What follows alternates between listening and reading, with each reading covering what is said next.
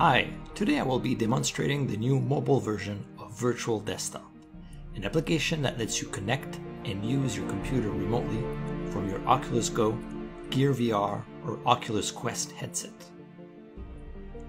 The app is developed natively on top of OpenGL and the Oculus Mobile SDK to maximize performance and reduce battery usage.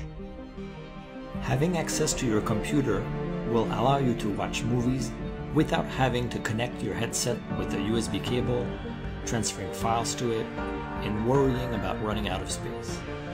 You can watch movies from your private collection, from Netflix, Hulu, or any other streaming service. Like the PC version, Virtual Desktop relies on the Windows Touch keyboard for input. It usually shows up when you enter text fields, but with Windows being Windows, it doesn't always work. You can enable the touch keyboard button in the taskbar and bring it up manually. You can use Bluetooth mice and keyboards to do more serious work on the go. It also supports gamepads, which allows you to play your PC games from anywhere.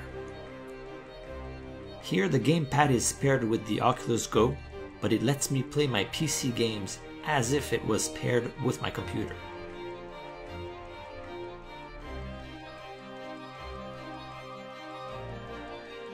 The high quality, low latency streaming works really well. And in case you were wondering, it does run Crysis.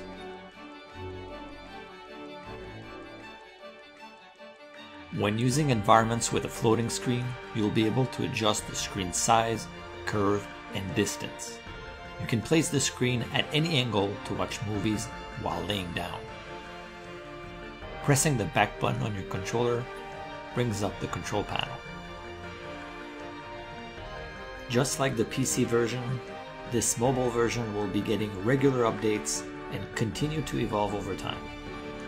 That's it for now. I hope you like it.